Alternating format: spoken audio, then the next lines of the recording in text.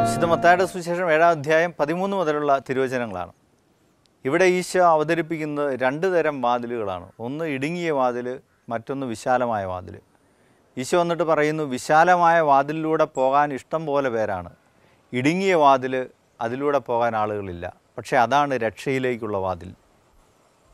Robert പ്രോസിന്റെ പ്രമുഖമായ ഒരു കവിതയുണ്ട് ദ റോഡ് നോട്ട് ടേക്കൺ.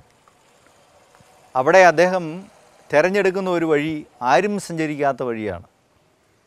നമ്മൾ നോക്കുക ലോകത്തിൽ ആരും സഞ്ചരിക്കാത്ത വഴികളിലൂടെ നടന്നവരാണ് ഇന്ന് ഈ ലോകത്തെ നയിക്കുന്നത്. മദർ തെരേസയും ഫ്രാൻസിസ് അസീസിയും കൊച്ചുറേസ്യയും ഒക്കെ ഉൾപ്പെടെ വിശുദ്ധന്മാരുടെ മഹാന്മാക്കളുടെ നിര എന്ന് പറയുന്നത് ലോകം സഞ്ചരിക്കുന്ന വഴിയിലൂടെ സഞ്ചരിക്കാതെ ഇടുങ്ങിയ വഴി തിരഞ്ഞെടുക്കപ്പെട്ടവരാണ്. തെറി പറയാനും കള്ളു കുടിക്കാനും കൂത്താടാനും ഒക്കെ എല്ലാ മനുഷ്യനും കഴിയും. പക്ഷേ അതേസമയം സുഹൃദേവൻ ചെല്ലാനും ഉപവാസമെടുക്കാനും എല്ലാ മനുഷ്യർക്കും കഴിയില്ല. അങ്ങനെയുള്ളവരാണ് ലോകത്തെ നയിക്കുന്നത്. ഈശോ ഒരു വെല്ലുവിളി എന്റെയും നിങ്ങളുടെയും നമ്മുടെ എല്ലാവരുടെയും മുമ്പിൽ അവതരിപ്പിക്കുന്നു. കഴിയുമോ? ഈ ഇടുങ്ങിയ വാതിലിലൂടെ ചിലപ്പോഴെങ്കിലുമൊക്കെ ഒന്ന് സഞ്ചരിക്കാൻ.